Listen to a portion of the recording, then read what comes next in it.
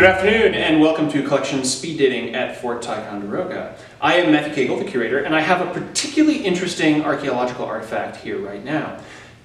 Although Fort Ticonderoga is a military position, there were significant numbers of women and children that were here throughout the 18th century. And this, amongst all the objects in our archaeological collection, may be the only one that we can specifically attribute to a woman. This is actually the bottom of a patten, which is a type of overshoe, where this iron ring would have sat resting against the ground, mounted to a wooden sole that a woman would have slipped her shoe into, strapped herself in, lifting her off the ground and the muck and the filth to keep her shoes clean and out of the dirt. These are only worn by women in the 18th century, and thus this object becomes possibly the only piece in our archaeological collection that identifies it as having belonged to a woman.